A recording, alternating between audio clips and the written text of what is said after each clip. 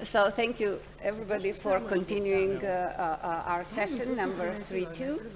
And uh, our first speaker now will be Tijana Rajh from the School of Molecular Sciences at Arizona State University in Tempe. She'll be talking about manipulating nanoparticle reactivity through surface chemistry. Thank you, Tijana. So I'm Tijana Rajh from uh, Arizona State University. And yesterday we were talking a lot about curiosity-driven research and societally responsible research. And um, I want to say that's very connected, right? So my uh, curiosity-driven uh, research is uh, actually to try to understand and manipulate uh, reactivity of uh, nanoparticles through understanding and manipulation of surface active sites. And what I want to do with that Oh, I don't have a micro, oh. Is this better? Yeah. Okay. So what I want to do with that is to try to control the reactivity of nanoparticles. And uh, of course, the most important is uh, to try to uh, fulfill the reactivities towards the societally responsible goals that I have in mind at that time. So something that is my permanent interest since I started in Vinča in 1980s is solar fuels. Um, I always started working on uh, semiconductor nanoparticles in 1981 uh, with cadmium selenide trying to split water at the time and also uh, by coincidence we stumbled on reaction of CO2 uh, uh, with light-induced chemistries of cadmium uh, sulfide. And my first paper at the time in, oops, this is going by itself for some reason. Sorry. Um, so this, uh, this solar fuels is a, a, topic that is very important today, um, especially towards CO2. Uh, one of the uh, uh, important contributions for global climate change is CO2, enhanced concentration in the air. And if we could remove CO2 by light-induced reactions, we could try to slow, contribute to the fighting of the climate change. And in that respect, I'm trying to uh, use all the different tools that we have these days in uh, operando in particular, uh, X-ray uh, and other uh, techniques to understand these active sites that can enable us to absorb CO2 and to perform reduction uh, using sunlight. The other topic of my research that I'm very um, fond of is uh, trying to use nanoparticles and integrate them with the biological molecules in order to fight cancer. So we are trying to integrate them with the proteins that are going to target nanoparticles to uh, the cancer cells ex exclusively and use uh, uh, their uh, uh, very strong reducing and oxidation activities in order to make the changes in the cells. So uh, my, our latest paper is on uh, trying to use bioluminescence in order to uh, create the light in the body and uh, convert cancer cells, uh, induce apoptosis, and uh, get rid of them. So I'm not going to talk about this second topic because it's such a short talk of 20 minutes. I'm going to fo focus on the first topic as this is the year of sustainability, so I thought this would be more appropriate. So what happens when you have a semiconductor particles and you shine a light? You promote an electron from valence to conduction band, and these uh, electrons and holes, they have redox potentials that can participate in the redox reactions um, such as uh, CO2 conversion into liquid fuel methanol and water into oxygen. This is actually the ideal, and this is how I imagine in 1980s that it's going to be like in few years we're going to achieve that, and this is what's going to happen. Unfortunately, this was not the case. The reason mainly is because there are parallel reactions that can compete with the, this desirable reaction, and you can have uh, CO2 transformed into CO, which is a kind of uh, better than having, uh, I guess, CO2, but it's still not enough of a conversion. Uh, conversion into chemical uh, liquid fuel would be the best. Also, the, uh, the reaction for oxidation of water can end up in formation in peroxide, uh, which is a liquid that can further react with electron and kind of short circuit uh, the whole reaction. So in the reality, when you do this uh, uh, uh light-induced chemistry with semiconductor particles, you get a mixture of formic acid, aldehydes, methanol, methane, hydrogen, and these all are in very small yields, which is not satisfactory for any application. So in the, this field started, as I said, in 1980s, and the first paper that appeared was Kenji Honda in, in 1979 in Nature, and he, they showed actually that you can use very wide back, band gap uh, semiconductors UV and UV light in order to uh, uh, reduce CO2 and produce different uh, methanol or methane the uh, yield would increase as the overpotential increases. And as you look uh, here, tungsten trioxide doesn't do anything. TiO2 gives some amount, but I think the uh, silicon carbide is the one that gave the high yield. Um, I always thought that uh, cuprous oxide would be the perfect one because it absorbs the visible light, but yet, because it's a P semiconductor, has a really large overpotential that is almost close to one electron reduction of CO2. Uh, therefore, I wanted to try it for years, and I, uh, the only problem that was uh, in my mind is that cuprous oxide is, is really bad that it has both cathodic and anodic corrosion. So if you shine a light, instead of giving you the fuel, it's going to degrade itself and make copper or make uh, um, or make cupric oxide. Uh, but I nevertheless said it's a good model system to try to see if you can use visible light to reduce CO2. And when uh, Yimin Wu, now the professor at Waterloo, Waterloo University, came to my lab as a postdoc, he started synthesizing these nanoparticles. And he took two different syntheses. One that was using glucose and uh, co uh, co copper acetate, and with that he obtained octahedral particles. Once he used ascorbic acid as a re reduce, reducing agent, sorry, oops, um, reducing agent, he got uh, cubic particles. And here, he, this is the image he took on the uh, on TEM, and he got that these particles are very faceted, and these facets are very selective the octahedral particle was showing uh, uh, 110 and uh, 111 uh, facets as major participants. Meanwhile, the cubic ones showed 100 as a main uh, facet on them. So are the active site the same? Are their activity the same?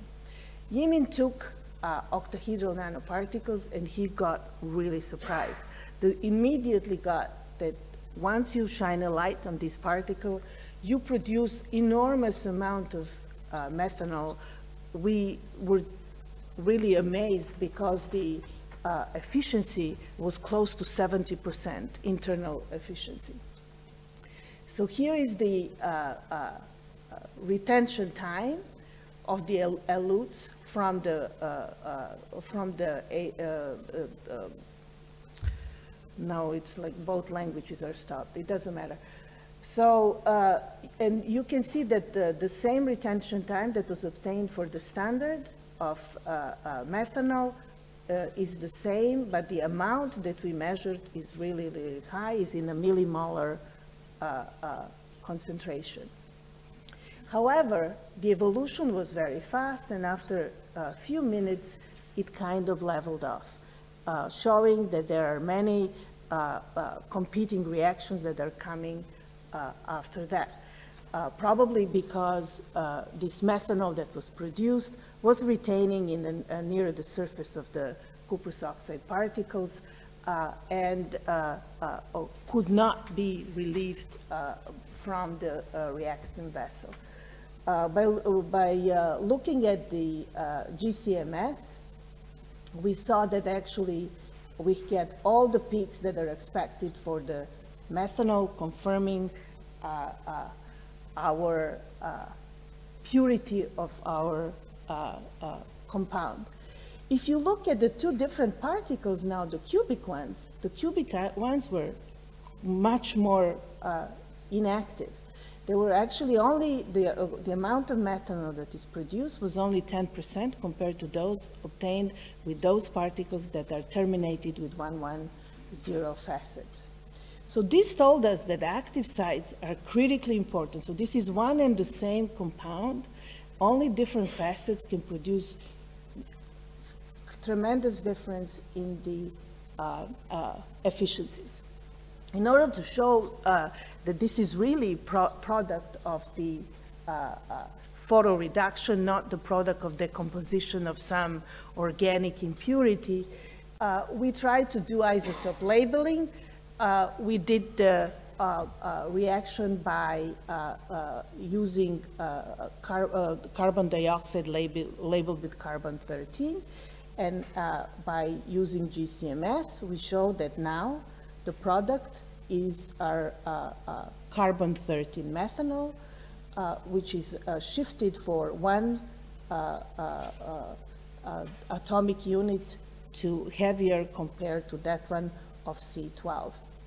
And if you look at the internal quantum efficiency, uh, the one that the, the, internal quantum efficiency at the wavelength close to the band gap is almost close to one, and it decreases as you go to the higher uh, energies just because the photons that are absorbed relax and uh, uh, uh are not used entirely as uh, those close to the band gap. We also uh, surprisingly show that there is a synchronous evolution of oxygen with the light with the light on, you see evolution of oxygen, and with the light off, the evolution decreases. The uh, uh, efficiency was not that high, it was only 6%, and we found that actually hydrogen peroxide is uh, uh much uh, higher production, 12% efficiency, and we think, and this is the problem because as a liquid uh, compound, it stays absorbed on the surface, and once it accumulates, it starts competing with uh, uh, CO2 uh, reduction. Nevertheless, we wanted to show that also oxygen comes from water because a lot of uh, reviewers were suggesting that it might come from the, uh, the composition of cuprous oxide. So we did the isotopic labeling with the uh, of oxygen 18 water and you can see that in this case, we get the majority of the oxygen as, which, as a mixture of oxygen 16, oxygen 18. And uh, the reason why is that the high concentration is because uh, the CO2 had also uh, oxygen that was 16 labeled, and the main, because of the mechanism, the main product would be mixed 16, 18 oxygen. So this was true. So we wanted to understand really what are the active sites that are and why this system is performing so well. Especially when you know that usually it should undergo corrosion like crazy.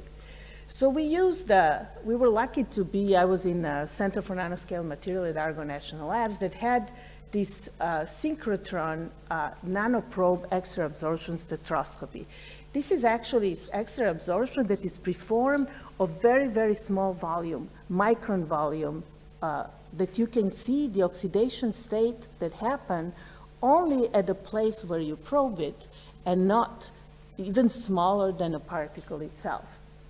So we use this hummingbird uh, uh, gas flow sample holder in which we developed a multi-purpose uh, cell uh, that is also environmental cell that we could flow the CO2 and oxygen and uh, nitrogen when needed, but we could also uh, illuminate the sample, as you can see here, with the laser while measuring uh, X-ray absorption spectroscopy.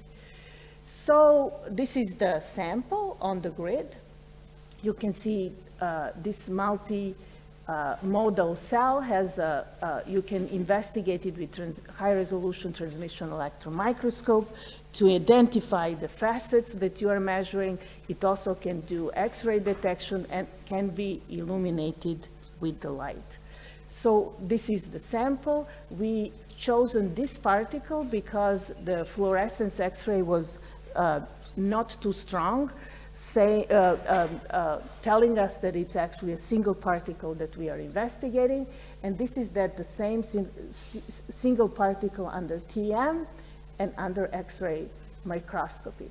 And we identified the facets, one, one, uh, 100, 100, uh, and one that uh, is 110 that is different from the others. So we wanted to understand now the active sites of each of those facets. And by measuring the X-ray absorption spectroscopy, uh, we could determine that all the sites, all the, so, so it's color coded, right? When green is green, blue is blue, red and black are 110. So all of them, 110 has a, probably a little bit uh, uh, more, shifted more to the lower energy, identifying that is a little bit more reduced sample compared to the 100, but this is such a tiny shift that uh, was not uh, hindering our measurements. Once we uh, expose it to CO2, what we saw is a relatively large shift of one electron volt to the more positive energy, uh, uh, to the higher energy, uh, telling us that the oxidation state becomes more positive and it's harder to eject an electron from uh, once the CO2, from copper, once CO2 is absorbed. This is actually telling us that the oxidation state after absorption, just absorption of CO2, was shifted towards more oxidized, So there is an elect electronic density that was delivered from the copper site to CO2. Once we uh, uh, expose it to the light, we saw that actually the, the, uh, the uh, white edge from the sample have gone back or to the original position, uh, telling us that this uh, uh, this electronic density have been returned to uh, copper sites, active site, and CO2 probably has been reduced and left uh, the binding site. So this was actually a very, very important uh, insight because we understood that by oxidation, by just simple absorption, when you oxidize the copper site on which uh, CO2 landed, becomes available for photogenerated electrons to come there. So it's actually, you have spatially separated the reducing sites on which CO2 resides, and you promote uh, re reductive uh, uh, uh, uh change of CO2. Uh, when you do the same thing on the 100 facet, there is no change either by adsorption or by illumination.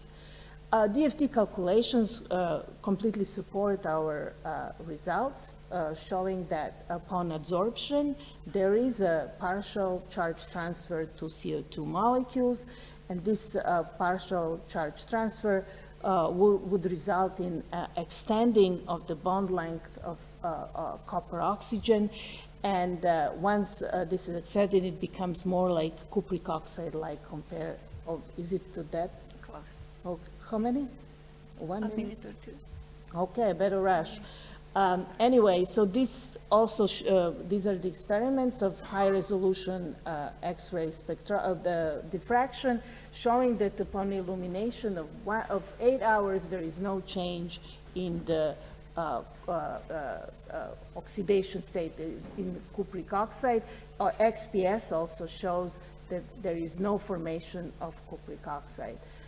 Um, also, we applied the uh, uh, coherent, uh, Bragg coherent diffraction imaging, and we have shown that these particles also have synthesis encoded uh, strain. And uh, uh, if, if uh, uh in, in a pristine uh, sample, you have compressive and tensile uh, sides. However, after absorption of CO2, this is completely changed. The whole particle becomes tensile. So, uh, uh, and uh, if you look at the quantitative changes, you can see that the compressive sides have been changed into tensiles, but tensile sides didn't change much. And the, those uh, 100 that were inactive with the light also didn't change by absorption or illumination. Uh, DFT calculations show that the absorption of undercoordinated site of the compressive uh, uh, uh nanoparticle side is prevalent and that the strain, model strain by absorbing multiple molecules corresponds to those observed in our experiment. In the meantime, so all the strain is uh, uh, at the surface. In the interior of the particle, there is no change of the strain, uh, uh and that doesn't participate in the reaction. So this gives us actually the opportunity to move forward. Why not use ultrasound to try to induce the strain and promote the reaction, produce the compressive sides, uh, uh, compressive particles that are going to participate and have better even better efficiency. So to do the acknowledgement, Yimin was the one who did all the experiments with X-rays and the synthesis. Uh, Ian is an expert now at Max Lund uh, that is uh, for X-ray nanoprobe. Uh, uh, Voja Stamenkovic is uh, the one who performed um, XPS measurements, and Nada Dimitrijevic helped us with EPR, uh, I didn't show it here, but she had a major role in determining the mechanisms. Thank you. Thank you. Uh, thank you, Tijana, very much. I think the discussion will be at the end. And now I would like to invite uh, Tatjana Parac uh, from the University of Leuven in Belgium to talk about chemical tools for designing artificial enzymes. Okay. Okay, thank you for the kind introduction and uh, many thanks to the organizers for inviting me uh, to this, uh, I mean, fantastic event. I, I, learned a lot. I learned from the uh, experts that I probably wouldn't have heard otherwise. So I'm very happy to be here and it's always great to be back in Belgrade. Uh, this is my alma mater. I studied here. I'm originally from here. So, um, but now I work at the university, which is uh, known as, I'll just tell you in a moment. So actually I come from Belgium. So I live now and work in Belgium. For those who are not familiar, uh, with, with, with, geography, I mean, but I, I, assume many of you are. Uh, Belgium is a country which is surrounded by this, uh, you know, it's close to, to you know, France and, and, and, Germany and so on, and it's best known for its beer and, and chocolate. Uh, first pralines were invented in Belgium. But it's actually, besides that, uh, Belgium has actually, uh, it, it's a fantastic place because it has a lot of tradition and the place where I work, it's Leuven, so it's, this is this little red spot, 30 kilometers west from, uh, east actually from Brussels. And it's a university, so I work at university, which is an old university with a lot of tradition. It's the oldest university in so-called Low Countries, so it's founded in the 1425. It's the largest university in the, in the um, Low Countries, you have about like 60,000 students, even more. And it's a university which has been known for uh, many years as a Catholic University of Leuven, and in the last probably decade or last few years, the name has been quietly transformed from Catholic University Leuven to KU Leuven. And when people now ask what does the K stand for, I always tend to say K is now for knowledge. Um, I don't know what I had in mind when I changed the name, but we are now KU Leuven. And actually, this knowledge, as I would like to say, is um, within the tradition of now this new or modern university because uh, the place or the university has been proclaimed as the most innovative university in Europe for the last, I think, five years in a row. If you would like to see the, how it has been done, it's the Reuters agency that apparently every year ranks universities based on um, uh, their ability to transform or transfer the scientific knowledge into innovation, so number of spin-offs or patents or, or scientific papers and so on. It is a beautiful place. As I said, it's, it's an old uh, university. Um, you can see nice buildings, but combined with the modern development of science. So what you see here, it's a chemistry building where um, I, I, work, where my team works. And I'm head of the laboratory of bioinorganic chemistry. And so for many people, when you say bioinorganic chemistry, that sounds as a contradiction of terms because people tend to um, always associate life with organic, and it's true that majority of the molecules in our body are so-called organic molecules composed of carbon, nitrogen, and, and, hydrogen, and so on. However, there are many metals which are also essential for life, and they play essential role. All of you probably know about the iron, you know, it's part of hemoglobin, but there are also other metals which are really essential for many living systems, including humans. And so bioinorganic chemistry, which is a sort of like this, I mean, relatively, uh, well, I don't want to say recent, but I mean, one of the mod mo more modern fields of chemistry, is on one hand exploring the role of metals in biology, but on the other hand, and this is what my team is doing, is trying to use uh, metal-based compound, compounds, so either inorganic complexes or metal-based materials for some applications in biochemistry or biology. So all my talk today will be about developing chemical tools to develop materials or inorganic compounds, in our case, to cleave proteins. So we heard this morning fascinating talks by, by a couple of colleagues about designing new functions in proteins, designing new proteins, and that's extremely important. On the other hand, what we are doing, we are precisely trying to do the opposite. We are trying to break those, some, of, some of the proteins and the question is, why would you do this? Why would you actually like to control, you know, control way cleave or hydrolyze proteins? Well, this controlled hydrolysis of proteins is an important process in many areas of, uh, of science. So you actually, uh, for different purposes, would like to actually, um, on the precise places, cleave those proteins. And probably one of the most known or most useful examples is examples of proteomics. So proteomics is after genomics, I mean, is experienced sort of like exponential growth in the, in the last few years. And it's a, proteomics is a large scale of protein study, a study, large scale study of protein structure and function. So the exact number of proteins on Earth is not really known. It has been estimated to be 10 million or even more, depending on, on which paper do you, do you read.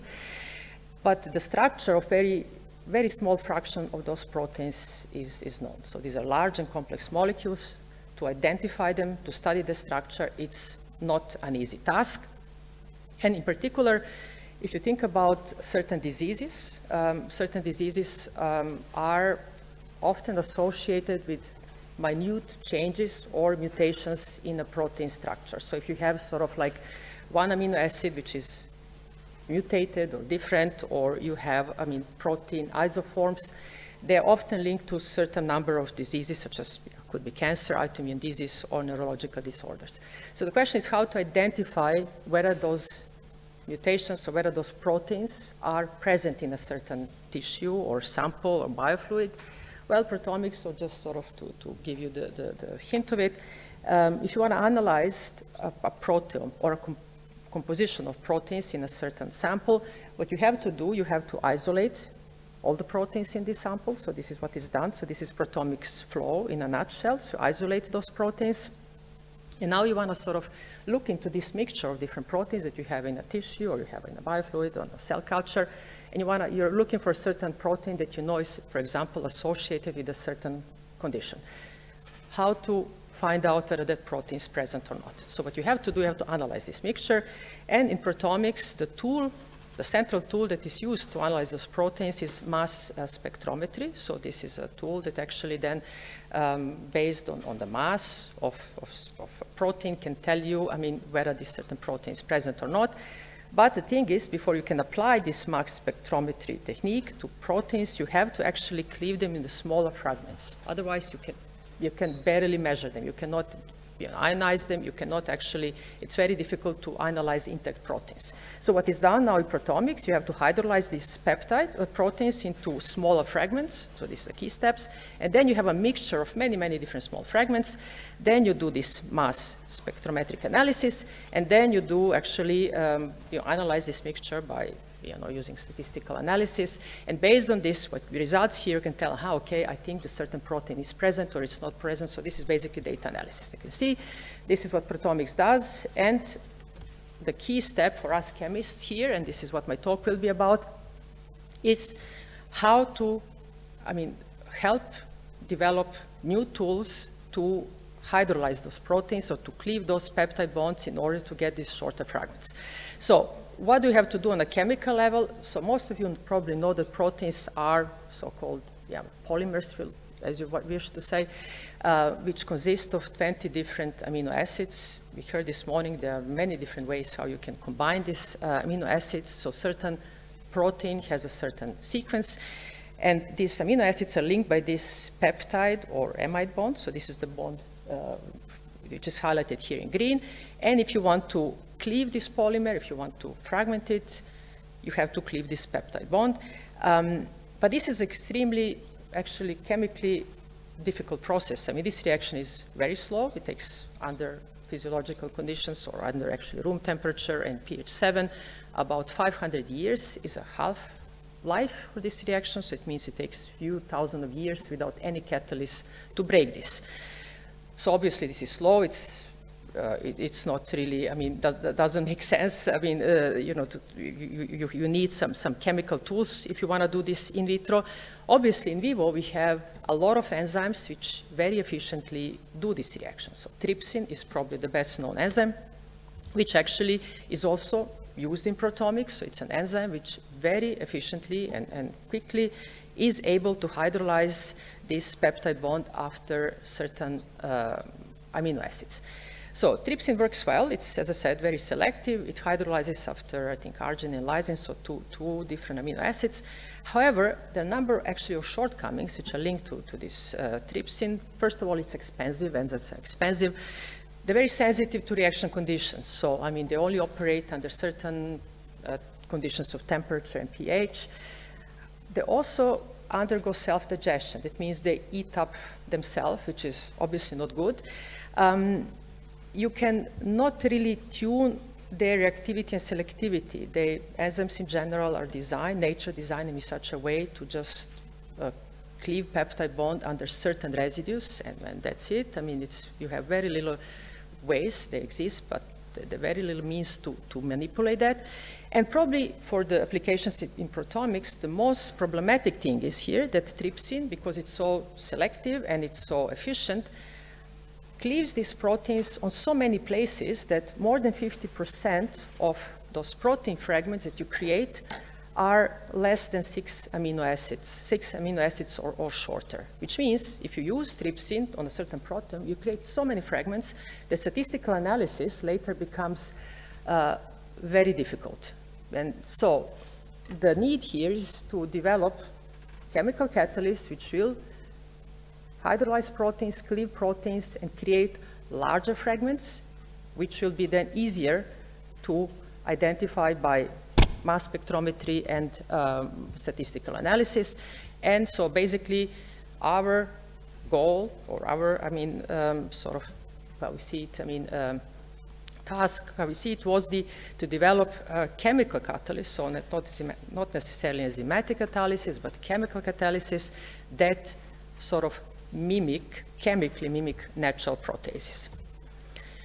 So we found inspiration in so-called metalloproteases. There are enzymes that contain metals in their active site. So this is one of the enzymes called carboxypeptidase A. It's a, I mean, it's an enzyme that has zinc in its active sites, but if you see, this enzyme has a protein so-called shell, I mean, and the metal in its active site, which is, so this, this is the active site, it has zinc, and it's pretty well understood what is the role of this metal, how it actually activates the peptide bond. So basically, it interacts with the, with the, uh, uh, with the peptide bond of the incoming protein and uh, via this interaction shown here, activates the peptide bond toward, towards hydrolysis. So now the question is, can you use something simpler? Can you devise a metal complexes which um, will or can do the same reaction, but are much simpler and cheaper and more robust and so on. Here, you have to keep two requirements in mind. So you want something that works so that it's able to hydrolyze this extremely kinetically inactive bond, so peptide bond. And on the other hand, you want something which is selective. So this is the, our design of a metal complex that we believed from the beginning could do the job. So we opted for using this uh, class of compounds known as polyoxometalates. So these are soluble metal oxo clusters, so shown here. Why did we use them? Because these compounds, they're water soluble, right? So which is you need when you work with proteins. Uh, they are negatively charged, which is uh, and they sh have shape. You can see they're actually nanoclusters, so they have a certain shape and they have charge. And because they have a charge, negative charge, and they have a shape, we anticipated, and some previous studies have also shown, that they actually selectively bind to certain surfaces of proteins. So they actually mix them with proteins, and they will just target certain specific parts of, of, of protein surfaces, which is what you, what you want. So this is sort of like a selectivity-induced um, uh, fu function of this polyoxometalate core, but you have to make them also catalytically active, and we do this by manipulating this intact structure by putting a catalytically active metal here. In our case, we screened many different metals. The one that works best are zirconium or hafnium because they're very strongly Lewis acid, if chemists will understand what I mean. And so this is the design of our sort of metal complex that we thought should actually uh, or can mimic uh, the function of, uh, of enzymes.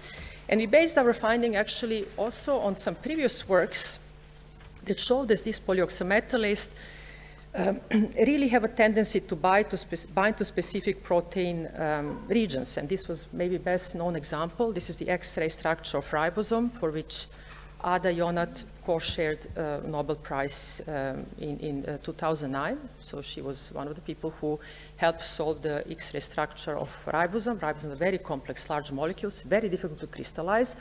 And she was actually able to crystallize them thanks to these polyoxometalates because uh, you will see here this crystal structure of, of, ribosome. These red spots are all these metal oxo clusters, which she added as to simply to make certain flexible parts of ribosome more rigid, right? So these Clusters will go to these flexible positively charged parts because they're negatively charged, and they will rigidify those certain areas, and crystallization became more, uh, became easier or possible, and as you see, as a result, we have a crystal structure of ribosome, but it also includes these metal oxoclusters. So the take-home message is they do have tendency to bind to protein surfaces, selectively, and we thought, okay, this is a very good sort of a vehicle to bring our catalyst to only certain parts of, of proteins and to do catalysis or to cleave specifically some peptide bonds.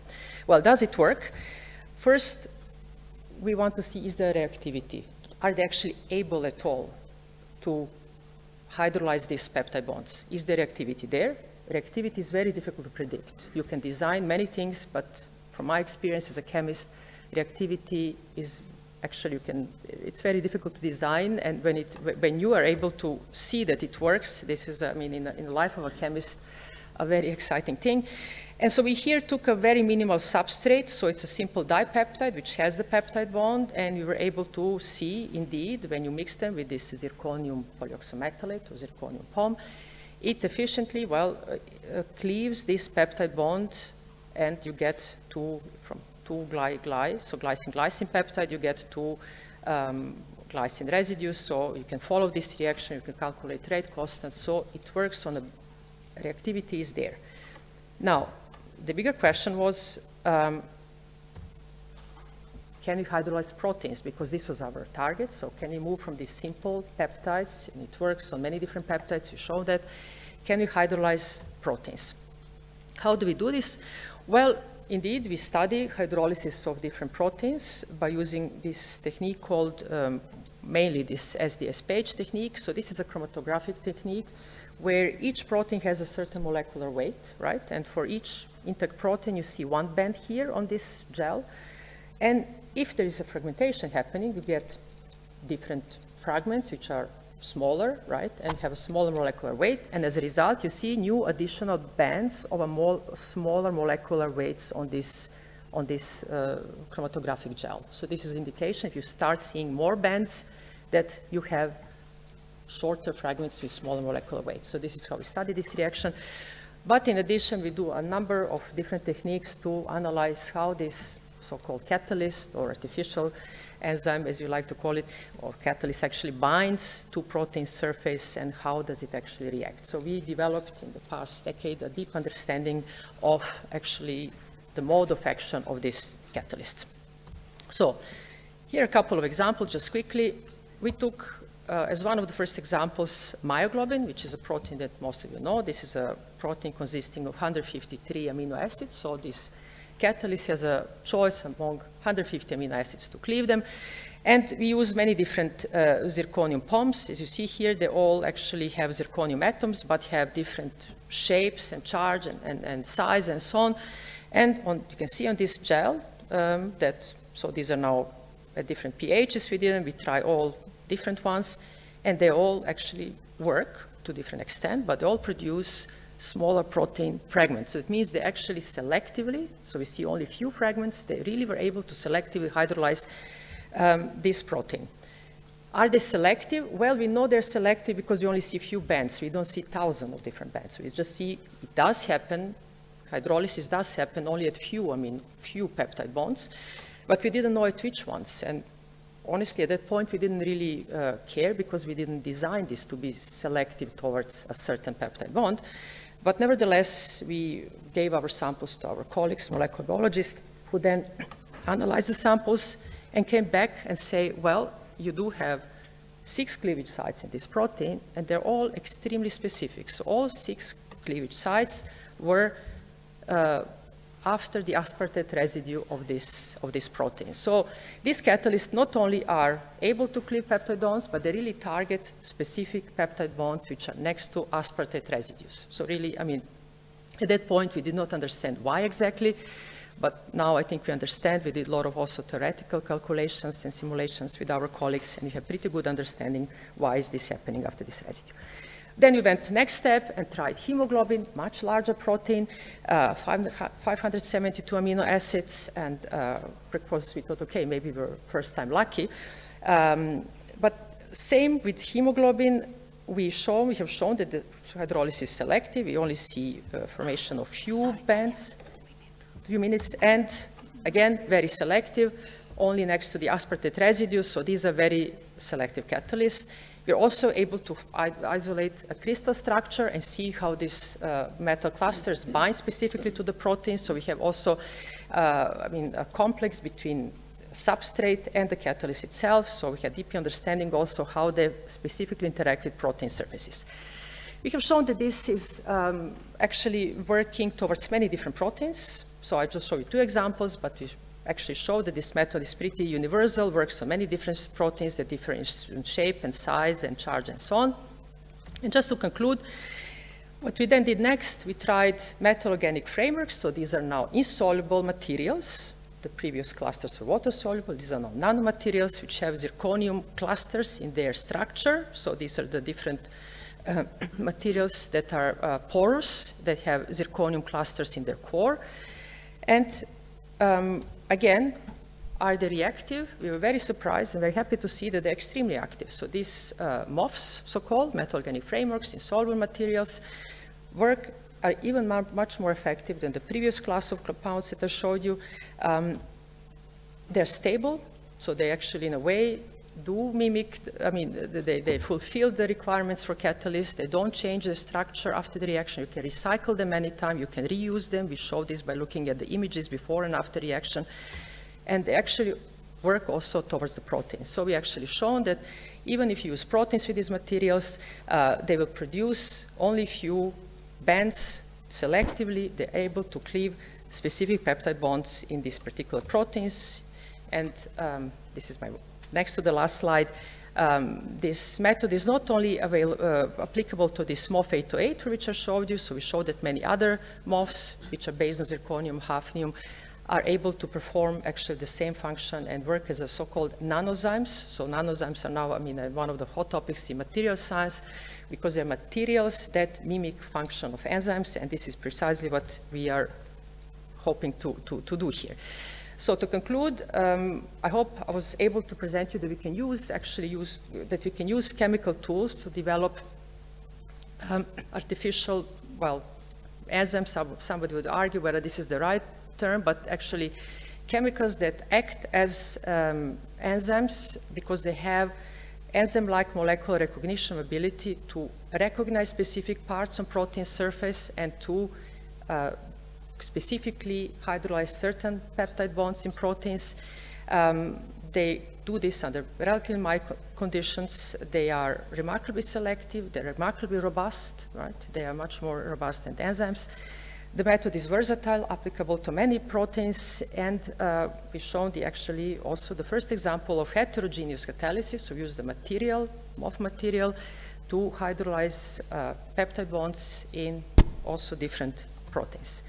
So many people that need to acknowledge I work with a brilliant group of people. I must say I'm very fortunate. This is all the um, uh, work of, of generation of, of different students. Um, some of them are listed here, some of them are shown here.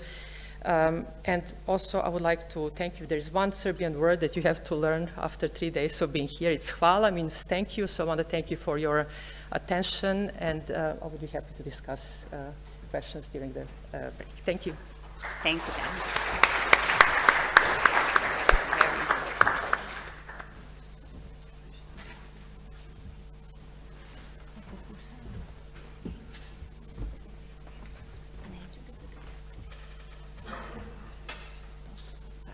Okay, I was reminded we have to stick to the time, so we have a sharp deadline at 10 past 12. Uh, Our next speaker is Richard Hoover from the U.S. Space and Rocket Center, Huntsville, uh, USA, and he'll be talking about meteorites, comets, rogue planets, and the distribution of biosphere. Thank you. Thank you very much. I'm delighted to be here with you this morning. The current paradigm is that life on Earth originated on Earth by abiotic processes on primordial Earth. Recent discoveries of microfossils and biomolecules in meteorites and of microorganisms and heat-producing elements in deep crustal rocks and deep ices suggest that biospheres may be widely distributed throughout the universe. The problem with the origin of life on Earth is that it takes uh, a great deal of work that's been done in paleontology, and protocells have never been detected in any of the ancient rock records. Simple cells just simply do not exist. Uh, here we see the DNA gyrase enzyme and the TEM of bacterial flagellar motor. Um, and we now know that from the fossil record, life on Earth began somewhere between 3.8 and 4.2 billion years ago. Uh, Sharko- Sharov did a study of, uh, of linear regression uh, of genetic complexity and concluded that possibly the origin of life occurred perhaps as far back as nine to nine and a half billion years. Well, that's a significant problem because the formation of the solar system and the planet Earth occurred about 4.54 billion years ago, and first liquid water oceans on Earth around 4 billion years ago. Well, the requirements for life are very simple. All known life forms require the coexistence of water, energy, and this suite of bioelements, approximately 20 of the 118 chemical elements that are essential for, for life. Water is the second most abundant molecule in the universe. It comprises some 65% of the mass of living cells, has this polar bent geometry at 104 degrees. It expands on freezing, has high surface tension and boiling point. and that is profoundly important because if water didn't expand on freezing, I wouldn't be talking with you. There would be nothing alive. The maximum density of temperature of water occurs at point, 3 point, uh, plus 3.98 degrees Celsius for fresh water. And for salt water, the Antarctic bottom water has a temperature of minus 0.8 to plus 2.0. That is very fascinating because that means that liquid water oceans in icy moons or planets that are covered with ices, they're all alike. They will have the same temperature and they will have had that temperature from the formation of those liquid water oceans. And they will be extremely dark under high pressure, temperature between minus 0.8 C and plus 4 C, depending upon the salinity. For a long time, it has been accepted by the scientific community that there is no water in comets.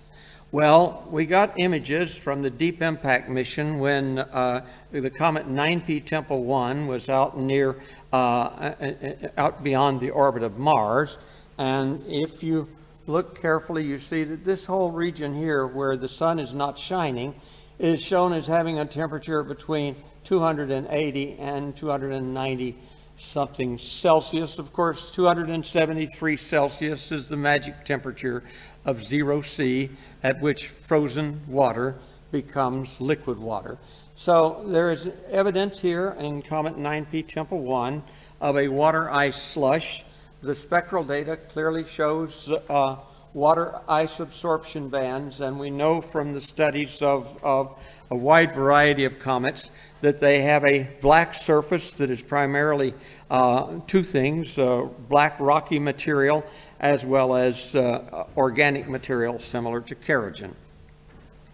The energy can come from a wide variety of sources, from light, heat, food, or chemicals, and uh, this energy is used to transport bioelements across the cell membranes to form biomolecules, drive metabolism, replication, growth, and locomotion. Life is characterized by metabolism, DNA, RNA-driven ordering, chemical complexity, the growth, reaction to stimuli, reproduction, and motility. It's fascinating that a microscopist can distinguish between living organisms and non-living abiotic particles by using an optical microscope because in many cases living organisms exhibit locomotion. Uh, when you consider the Rayleigh number of water, it is an incredibly uh, large amount of energy that is necessary to propel an, uh, an organism the size of a bacterium through water. It's like a human being trying to swim through glass. The dominant elements that are required for life are carbon, hydrogen, oxygen, nitrogen, phosphorus, and sulfur. That accounts for about 99% of the cells.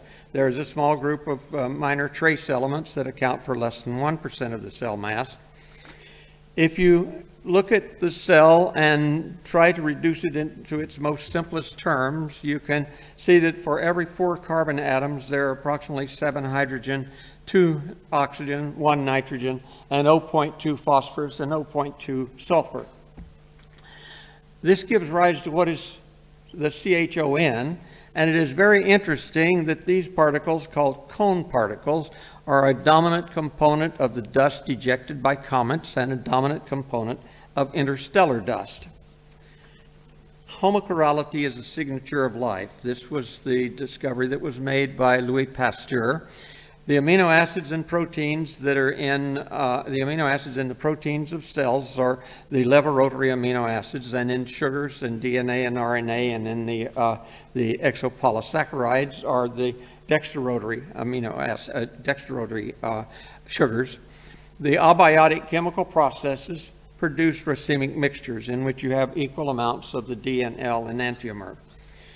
The Orgueil meteorite contains only 8 of the 20 protein amino acids, some with a significant L excess, and only 3 of the 5 nucleobases, cytosine and thymine, are missing.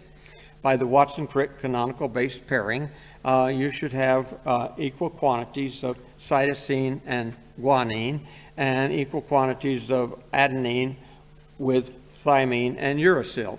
The missing amino acids and the missing nucleobases show that these meteorites are not contaminated by modern biology.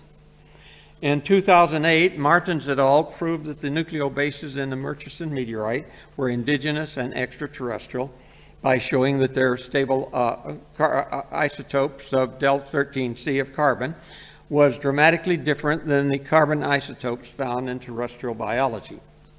Well, cytosine degrades to uracil with a half-life of about 17,000 years, Thymine degrades to xanthine with a half-life of 1.3 million years.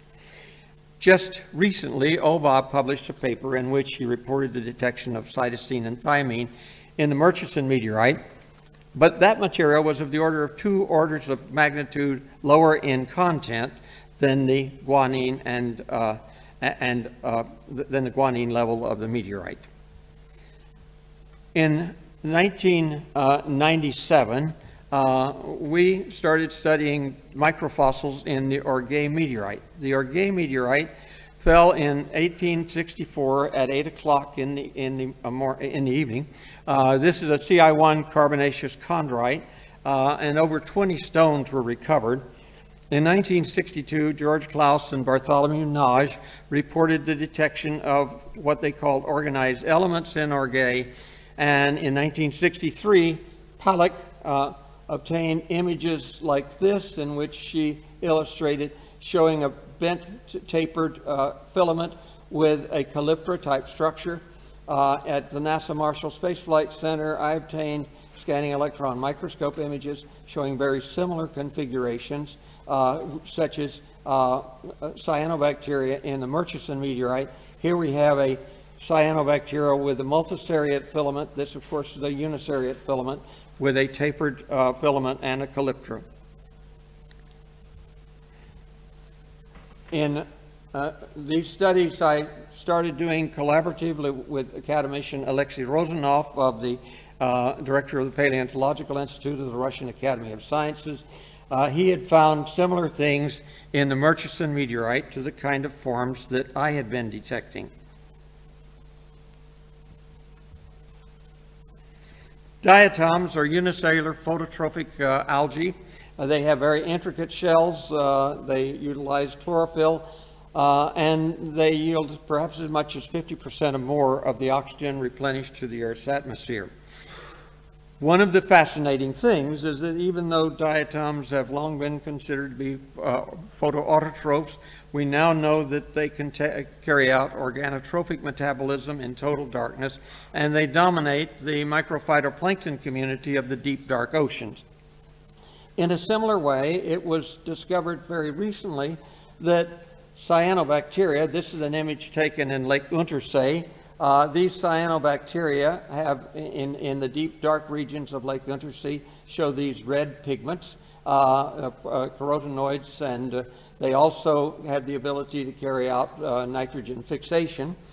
And in 2018, uh, Puente Sanchez et al. reported that they had discovered cyanobacteria living in the deep, dark, radiogenic crustal rocks of Rio Tinto, and they were using hydrogenase enzymes to carry out their metabolism. So it may well be that cyanobacteria first appeared deep within the rocks of the earth uh, or within rocks of other uh, bodies uh, before they finally became photoautotrophic in the oceans. One of the most critical questions is whether these are, are indigenous biology, the microfossils that we find, or whether they are in fact modern contaminants. Well, as you just heard, it takes a long time for the breakdown of the proteins. Uh, here we see a, an image of a, of a uh, mammoth uh, guard's hair that I collected in the far northeast of Siberia. And one of the interesting things is we can see here a very definitive nitrogen peak uh, of, of uh, uh, about 13%, I'm sorry, 11% nitrogen uh, and this, of course, is not the same kind of ratio that you expect in modern biology, but this is a 32,000 year old mammoth. It is possible to use energy dispersive X-ray spectroscopy and show that the uh, uh, structures found in the meteorites contain nitrogen levels which are along this regime here, whereas some fungi contaminants I found in Murchison and living cyanobacteria have nitrogen levels such as this. Mummies and mammoth tissue and hair are like this, and trilobites and 2.7 billion year old cyanobacteria are again back down to baseline, which I consider less than 0.5% because that's the lower limit of detectability of my scanning electron microscope EDS. Here we see a single uh, trichome in the Orgueil meteorite uh, and you can see the spectrum here shows that it has basically been permineralized with magnesium sulfate. This one is very intriguing because at this spot X here, we see that you have 82% atomic uh, carbon, 9.2% oxygen. This is very similar to what you would find in anthracite coal, but certainly not in modern biology. In 2017, at the uh, Joint Institute of Nuclear Research, uh, working with my colleagues there, we discovered diatoms in the Orgueil CI1 carbonaceous meteorite. Diatoms are extremely rare in the meteorite, but the fascinating thing is that this diatom is actually identifiable, uh, and it is very closely allied to Pinnularia segariana, which Foged discovered in New Zealand uh, in 1955. Here are other diatoms in the Orgueil meteorite. Uh, these are very, very clearly diatoms, and uh, there are, are very few people that would argue that diatoms are abiotic. The intriguing thing is that uh, in uh, 1986, working with Sir Fred Hoyle, we were able to show that there was a nice match between the spectrum of diatom uh, uh, and the interstellar dust spectrum of the Trapezium Nebula here and the spectrum in the IR of the galactic center source. Just recently, uh, uh, uh, Dr. Irakli Simonia uh, in uh, Tbilisi, Georgia, found a very interesting thing when he started looking at carbonaceous, uh, uh, at comet spectra. He found that many of the unidentified lines that could not be linked with minerals or with simple uh, Miller-Urey type organics showed very, very close matches with uh, luciferase, with chlorophyll, with uh, a variety of, of uh, pigments uh, and, uh, and other structures which are clearly complex biomolecules that are not formed by abiotic reactions. The Polonnaruwa meteorite fell in, uh, in Sri Lanka on the 29th of, of December 2012, and the oxygen isotope data done both in Germany and Japan clearly show a DEL 17O that is far away from the terrestrial fractionation line. Here are the Polonnaruwa stones. All rocks of the Earth and Moon fall on the terrestrial fractionation line. This meteorite contained incredibly well-preserved diatoms. This is the, the diatom called Aulacoseira. Uh, the Aulacoseira ambigua is a extremely well-known diatom on Earth. It is very, very beautifully preserved, in fact, better preserved in the meteorite than I have ever seen in living material. Here is a, a, a Aulacoseira ambigua from the earth, and you can see the structures known as the cribra, the areoli, the rimoportula, the ringulis, the separation spines. All of these complex details are readily identifiable. In 2020, uh, Chudaev described Navicula trophicotrichoides uh, uh, from uh, the Voronezh region of Russia. And uh, most intriguingly, this diatom was one that I found in the Polonnaruwa meteorite in 2014. I couldn't identify it, but you see it has these same kinds of linear slits as are seen in, in this particular navicula. These are three other diatoms showing the incredible preservation of diatoms within the Polonnaruwa meteorite. We also find things that are very, very strange. This is a hystricosphere. Hystricospheres have been extinct on Earth for about 500 million years. And we see here these incredibly long spines. This is a 100 micron bar. So these kind of structures you would not expect to find in the fossil record in terrestrial rocks. We also find in Polonnaruwa very strange structures such as this, which I believe quite possibly is an acritarch, a very, very complex uh, interior structure. We also find long filaments of bacteria, sometimes uh, uh, vibrions, uh, sulfur and sulfate reducing bacteria. Uh, working in collaboration with Dr. Frontasyeva, we got measurements of, of the uh, trace elements and also the heat producing elements, potassium, uranium, and thorium, and it can be seen here that, for example, these are the carbonaceous meteorites, and these are the values for potassium from the Polonnaruwa stones, which are many orders of magnitude higher than what you find in typical carbonaceous meteorites. The same is true of, of thorium and uranium. These heat-producing elements are found in the deep crustal rocks of Earth. Uh, they've been found in the, uh, in the granites uh, from uh, the Kola Super Deep borehole. Uh, Tommy Gold predicted a deep hot biosphere in 1992, and we now know that the deep hot biosphere does exist on Earth and contains possibly more than 90% of the biomass of archaea and bacteria. The Polonnaruwa stones have very, very low density, 0.6 to 0.8. These are images from the OSIRIS-REx uh, spacecraft that collected samples of asteroid Bennu. This is Gargoyle Saxum, and the data indicates that it has a density very similar to the Polonnaruwa stones. Uh, these stones were argued that they would not be able to, uh, to survive uh, transfer through the Earth's atmosphere, but our calculations reveal that they indeed could survive transit through the Earth's atmosphere. One of the most astonishing discoveries uh, quite recently is that Pluto, underneath this icy crust, has a liquid water ocean. Pluto does not have near it a large gas giant like is in the case of Enceladus and Europa, uh, where you have Jupiter and, and Saturn being the gas giants. So how is Pluto able to maintain a liquid water ocean? I contend that most probably the crustal rocks of Pluto contain potassium, uranium, and thorium and produce heating, which can keep the ocean in liquid state for periods of time that are enormous because the half-life of thorium-232 is 14.2 billion years, the half-life of uranium-238 about 4.5 billion. There are bodies that are coming through our solar system that are clearly extrasolar uh, comets. Uh, this, this is the body that came through called Oumuamua. Uh, it, we know that uh, it was uh, near uh, Kapteyn Star, which was seven light years away, uh, and it was near that uh, star only 8,000 years BCE or 8,500 BCE.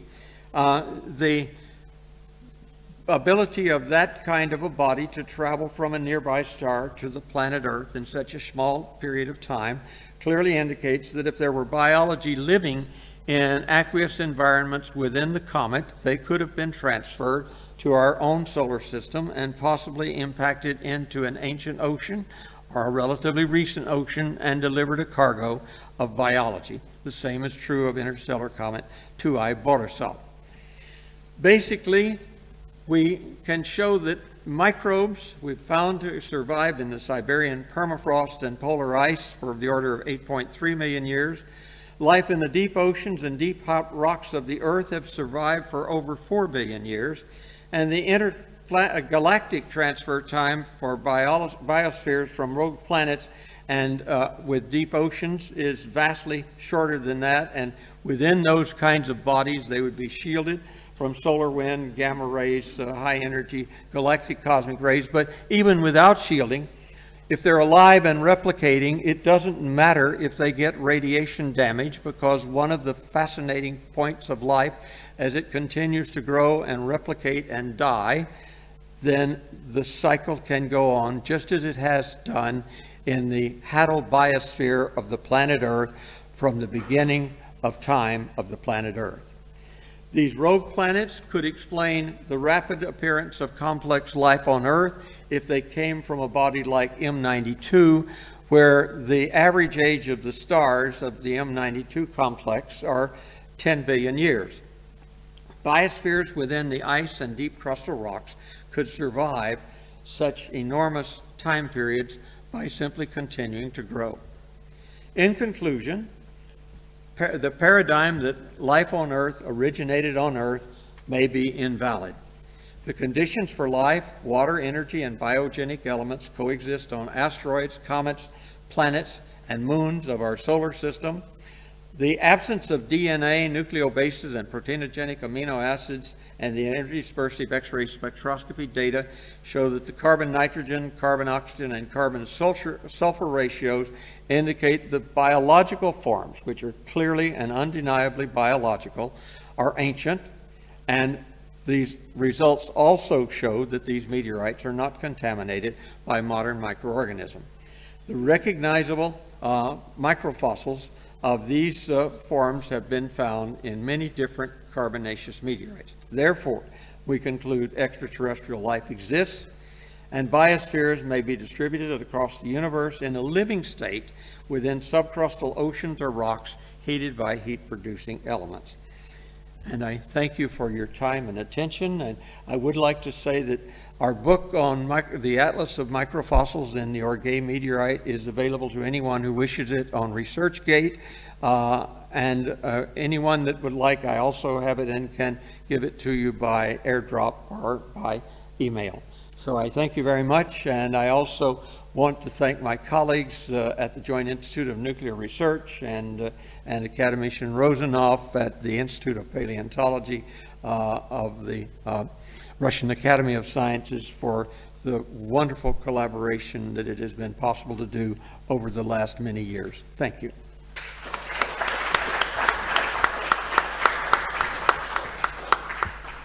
Thank you so much. And uh, our next speaker is my very dear colleague and long-lasting collaborator, Miroslav Adžić from the Vinča Institute, who will be talking about therapeutic strategies against inflammation-associated depression. Thank you, Elena. Uh, okay, uh, let's start. Uh, it's my great pleasure and honor to be the part of uh, this conference um, dedicated to the basic sciences and uh, for sustainable uh, development.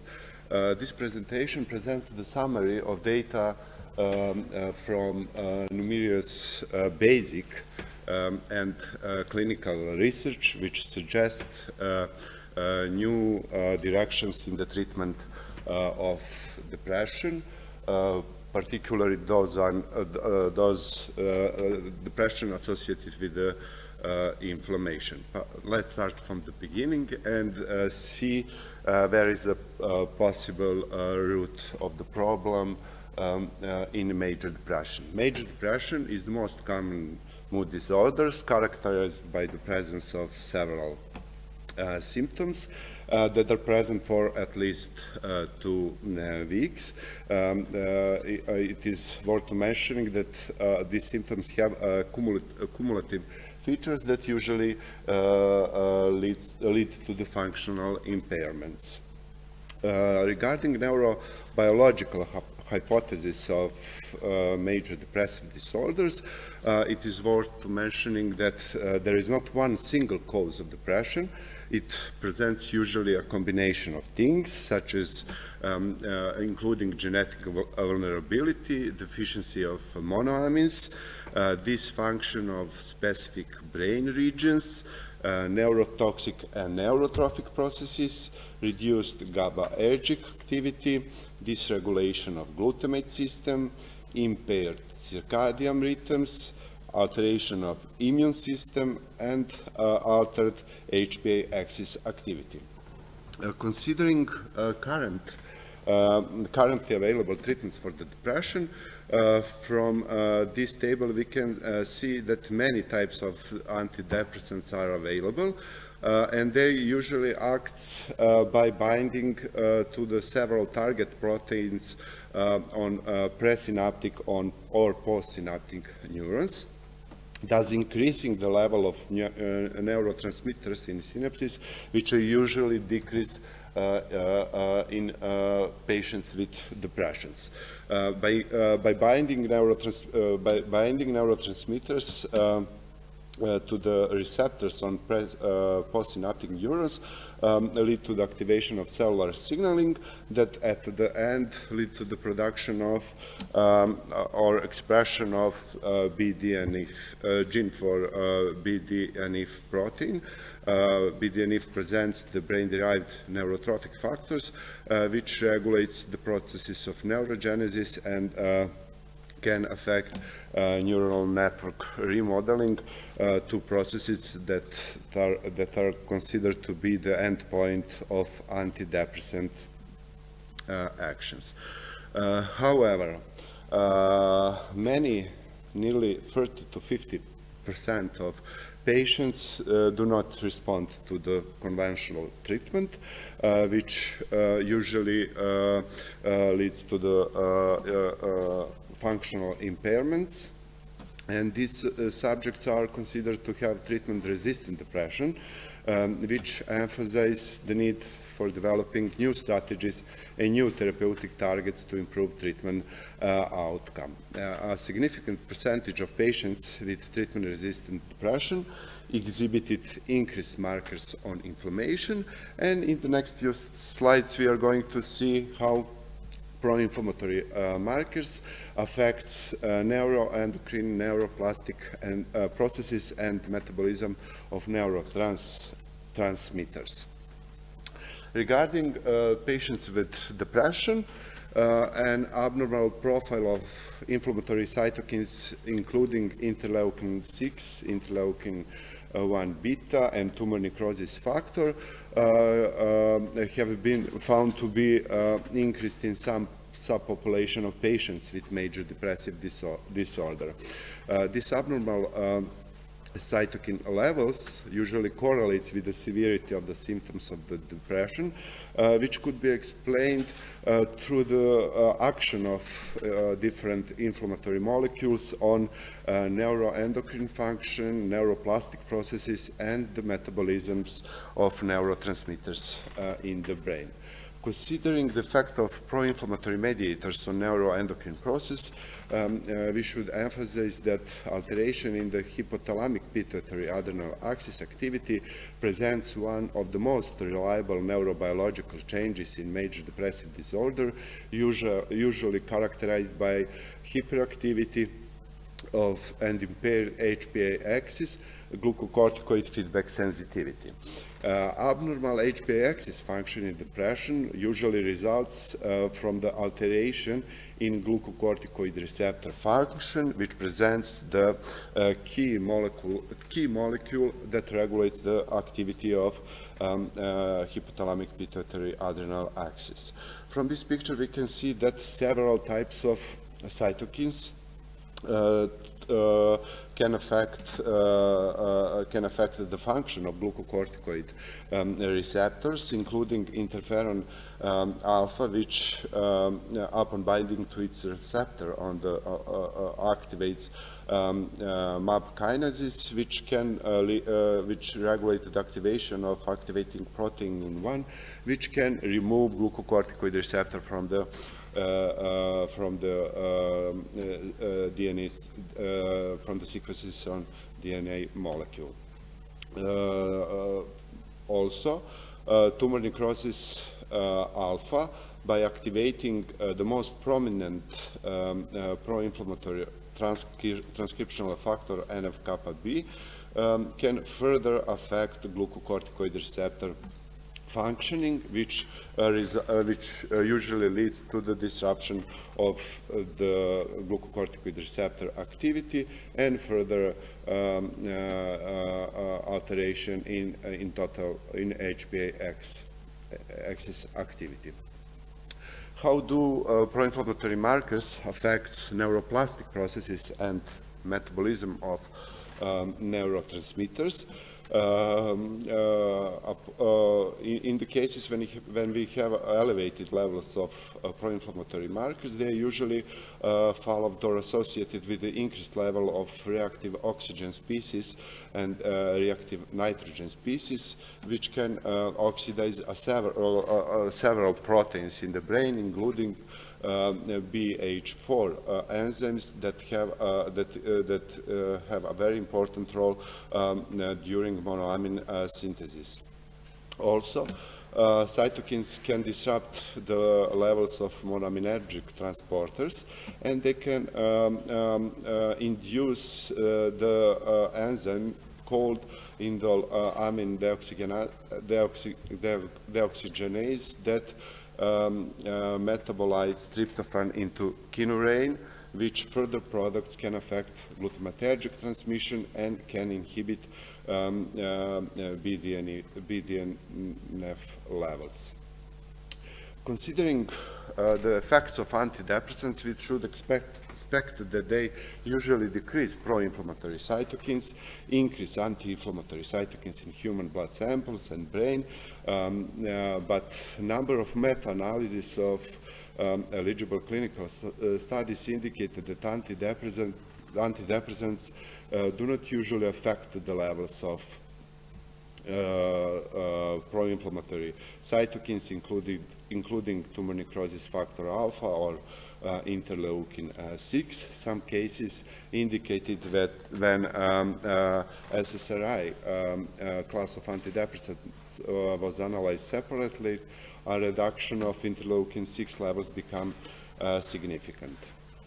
The antidepressant effects on inflammation markers depend um, deeply uh, on uh, the antidepressant class. For example, um, selective norepinephrine reuptake inhibitor and tricyclic antidepressants usually increases C-reactive proteins and interleukin-6, uh, especially in, men. In men.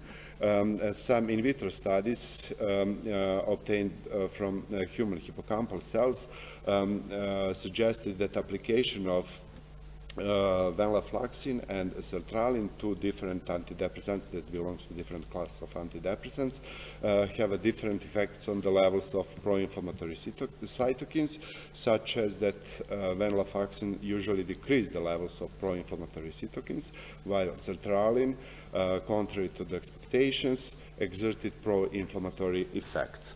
Um, uh, regarding the effects of antidepressants on pro-inflammatory cytokines, it can be concluded that a different um, uh, or, or, even uh, same class of antidepressants have a diverse and inconsistent effect on the majority of cytokine um, levels.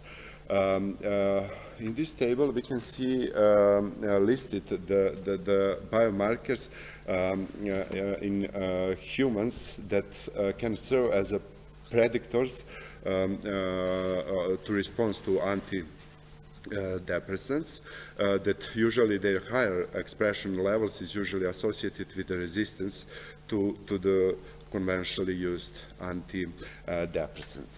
Uh, since the alteration of cytokine levels associated with the pathogenesis of mood disorder as well as to antidepressants responses, anti-inflammatory agents, have been increasingly investigated as novel treatments for major, major depression.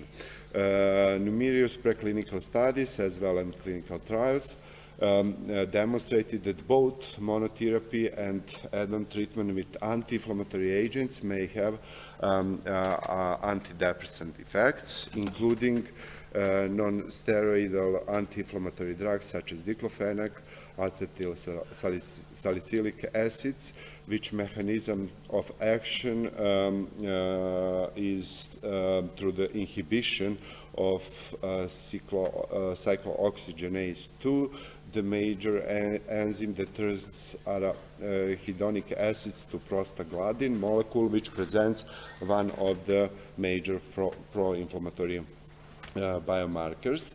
Uh, anti-cytokine treatments, which include infliximab, etanercept, um, uh, acts, um, uh, presents the anti-tumor necrosis factor monoclonal antibodies, which captures uh, soluble tumor necrosis fact factor uh, and, this, uh, and disrupt its binding to the its receptor on, uh, on cells, which further uh, leads to the decrease of activation of most prominent uh, pro-inflammatory um, transcriptional factor NF-kappa B. Tetracyclines, including, including minocycline, uh, which presents antibiotics, um, uh, usually have ability to decrease the activation of um, uh, of a number of um, immune, immune, cells, uh, decrease process, processes of apoptosis and proliferation, oxidative stress, uh, inhibit some um, inducible enzymes, uh, which um, uh, marks them as anti-inflammatory uh, immunomodu and Im immunomodulatory drugs with significant neuroprotective action. statins, well-known cholesterol-lowering drugs, um, uh, besides their effect on cardiometabolic systems, can affect uh, the effects in the nervous system, including plasticity, um, uh, the uh, neurotransmission, uh, Uh, can, uh, uh, they can uh, decrease the level of oxidative stress, excitotoxicity, uh, and decrease the level of glucocorticoids. At the cellular level, they can um, they, they, they, act either on innate or adaptive immunity. Omega-3 long-chain polyunsaturated fatty acids um, um, also can inhibit the sign of uh, pro-inflammation by inhibiting NF-kappa B pro-inflammatory transcriptional factor and decrease the number of um, the uh, T cell helper, uh, T uh, helper cells uh, type 1 and, and uh, 2.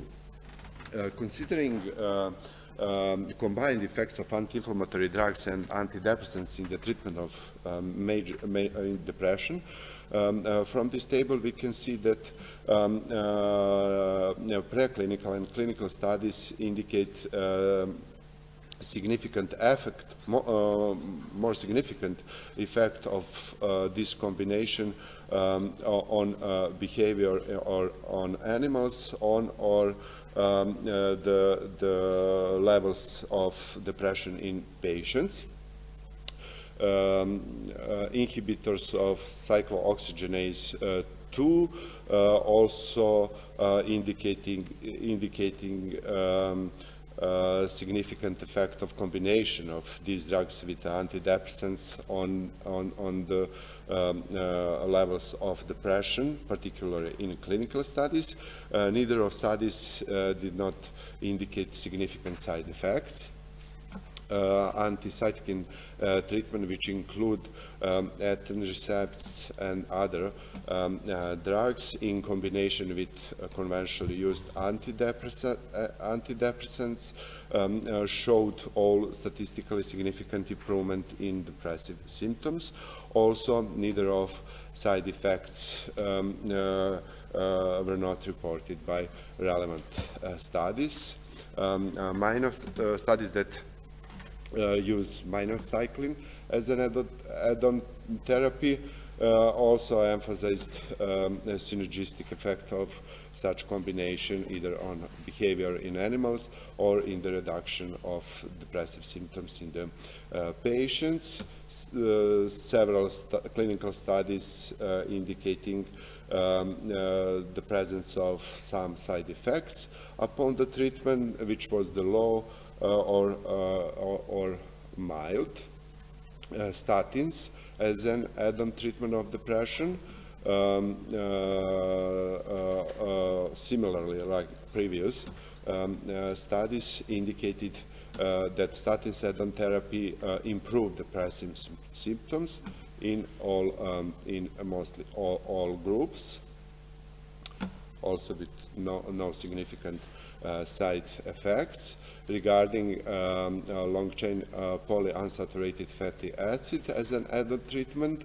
Uh, uh, most of clinical studies dedicated to the major depressive disorders um, um, uh, showed uh, that depressive symptoms um, were significantly improved during the use of this combination, except one clinical studies um, that included patients with bipolar depression, uh, where um, uh, uh, evidence of, efficacy were not reported. Considering at the end, in conclusion, we can make several messages to take home. Um, uh, clinical and experimental data uh, highlights the use of selective serotonin reuptake inhibitors among all classes of antidepressant as the most beneficial treatments in restraining the um, uh, inflammatory markers in depression. Uh, but as we uh, have, have learned, that one uh, that more than one uh, third of the depressed patients are resistant to the such type of treatment um, uh, mounting evidence emphasize, emphasize that anti-inflammatory agents um, might also exert antidepressant effects, and they, besides restraining the processes of inflammation, can also affect uh, neurotransmitter system. And several clinical trials and meta-analyses support the beneficial effect of anti-inflammatory add-on therapy in depression, um, uh, suggesting that such treatments um, uh, could present an, a new strategy in patients with moderate to severe depression. But however, uh, special attention on safety, particularly during prolonged periods of anti-inflammatory co-treatments, uh, is necessary. Thank you for your attention.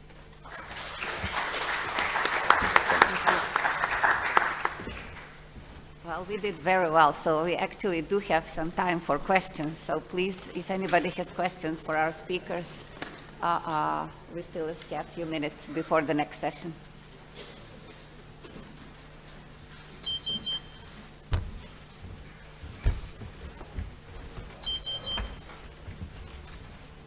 Да,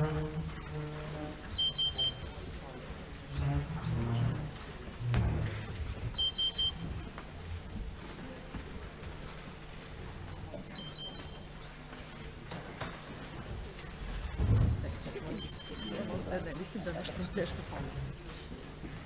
Please.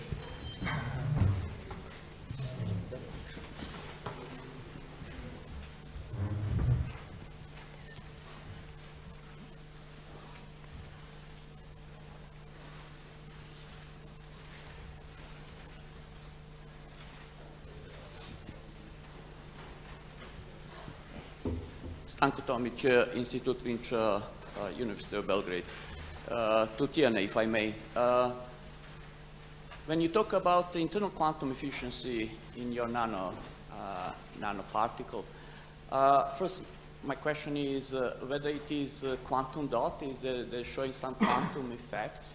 And if there is quantum dot, uh, can you design some sort of phonon bottleneck in order to recover internal, internal quantum efficiency to over 100%? I mean, 100% internal quantum efficiency is not a big deal. I mean, majority of optoelectronic devices showing close to 100%.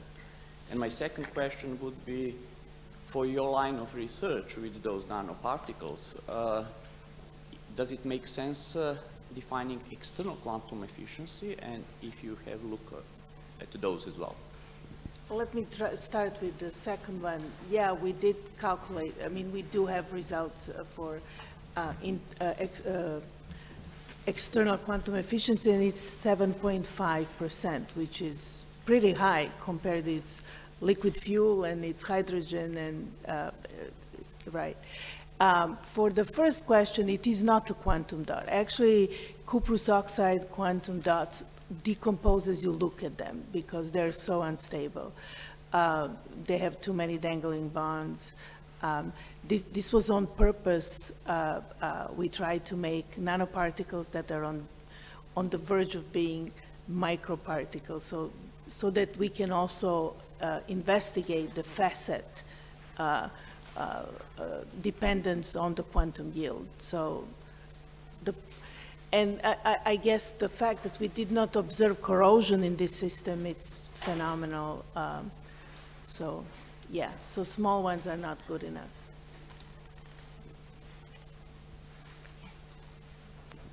I have a question for Tatjana Parac-Vogt, a great uh, lecture.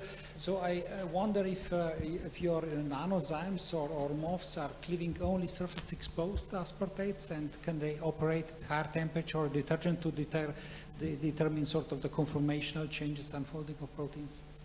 That is also a great question.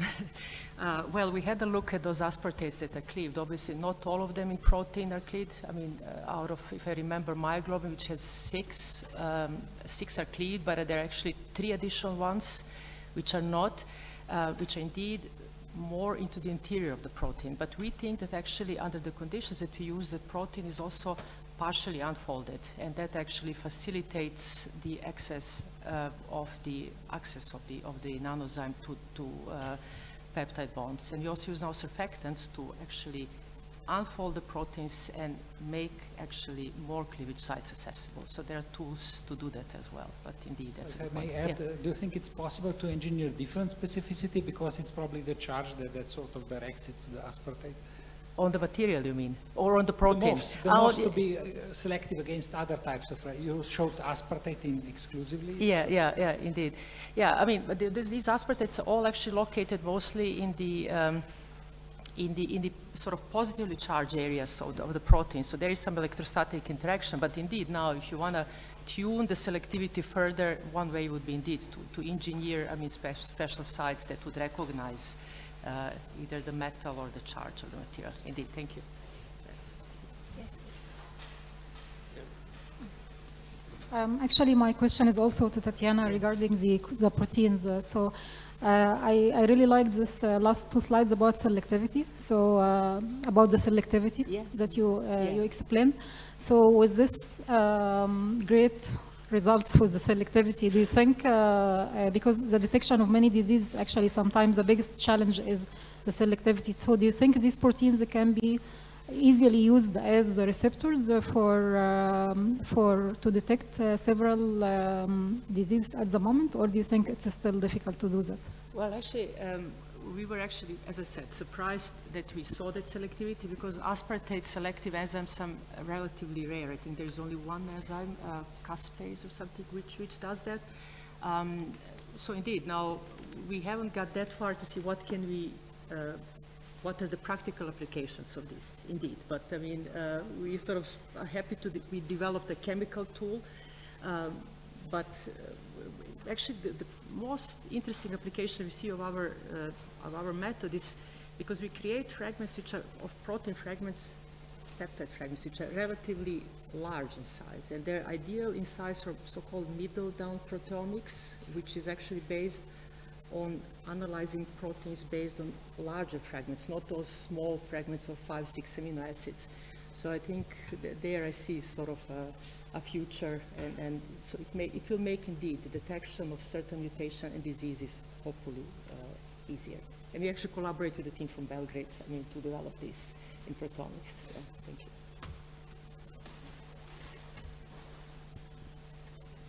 you. Great session. I really enjoyed the talks, and I have a question for Richard Hoover uh, for the paradigm-changing perception on the origins of life. So, uh, assuming that the life started five billion years before the solar system was created, what does that imply in your view about uh, extraterrestrial life elsewhere? Well, very simply, it implies that life is a cosmic phenomena rather than a strictly terrestrial phenomena.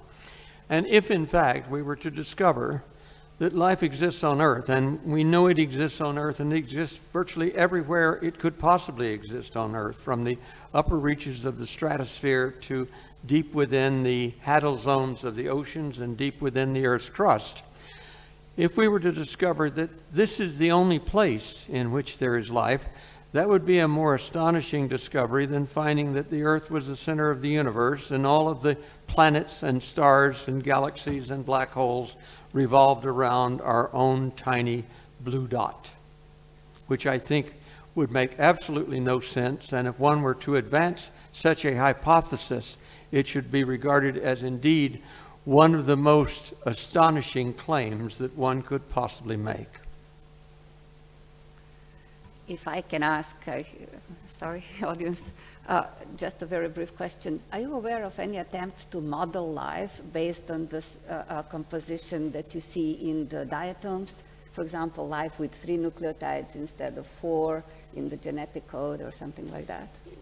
Actually, that's fascinating because if you take the Earth as the birthplace of the life that we know, then you change all sorts of parameters that the modelers should be thinking about. Uh, you don't have to concern yourself with what the primordial atmosphere and the primordial ocean looked like, and you don't have to try to restrict yourself to something forming in a very, very short time period because that long period of, of prebiotic evolution could have occurred over a time period of billions of years.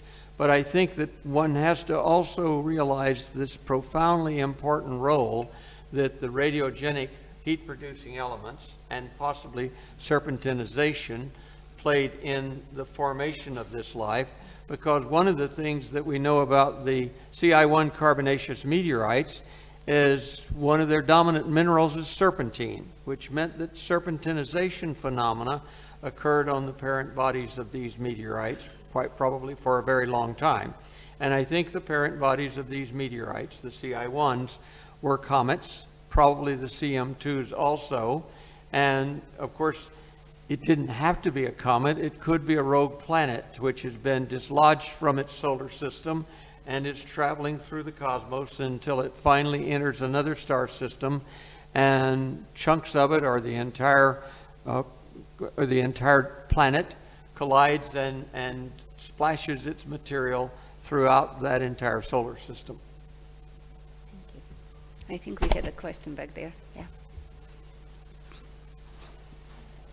Um, I also have a question about the uh, origin of life. Uh, um, perhaps I missed something in your pre-talk, uh, but um, if you conclude that there are necessary conditions uh, on a variety of places in the universe where life could evolve, uh, what kind of constraints uh, we could um, derive from the fact that life only evolved once on Earth uh, where conditions are definitely favorable during the 4 billion of, of life existence? Or do you believe there were multiple? I, I'm sorry, was the question for me? If, if so, could you, uh, pl- uh, someone please repeat it more loudly? I did not understand the question. Um, the question is uh, that um, apparently on Earth we do have conditions that are favorable for the origin of life because life did originate, uh, does exist here.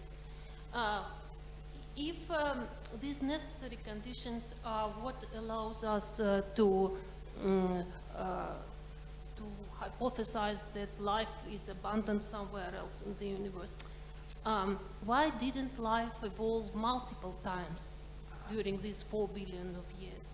And if it didn't, what kind of constraints, quantitative constraints, we could uh, derive from this on how frequent or infrequent is life in the universe? I, I think I got the gist of your question. Uh, I frankly think that uh, these results sort of indicate that life may have originated many, many times in many different places in the cosmos.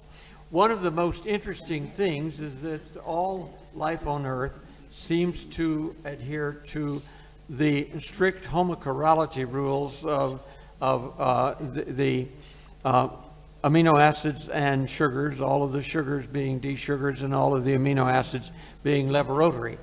Uh, we're hoping to fly a mission to Mars in which we will look for life on Mars by using what we call a chiral labeled release experiment in which instead of using the same kind of technique that Gil Levin used during Viking, we have an arrow in which uh, the Martian regolith is impacted into the arrow, and then it's provided with a nutrient media, one half containing uh, L-aminos and D sugars, and the other half D-aminos and L sugars. And that could answer a very profound question. The results of the labeled release experiment were attributed by the scientific community as some kind of unknown, strange alien chemistry. Well, if this experiment is detecting chemistry, then the two responses should be exactly the same, since chemistry doesn't really care about chirality. But if life on Mars exists there today and is very much like life on Earth, then the D sugar and L amino nutrients should give a positive growth curve, and the alternate chirality should be zero or no growth curve. If the opposite is true, then you would have found a form of life that operates on the alternate chirality, which would clearly be unlike life forms on Earth. So there are a number of things that can be done to try to get more information about uh, life elsewhere in the cosmos. I think one of the most recent ones that we'll have a chance to do is look at the ice in the polar craters of the moon, because if that is there, brought there by comets, it may well contain biology, either in frozen dead state or cryopreserved state, or possibly in frozen yet living state. So the craters of the moon will give us our first chance to really hopefully capture some extraterrestrial life forms in living state. Thank you so much, and uh, unfortunately, we have to stop here, but I'm sure we'll keep discussing later on. Thank you.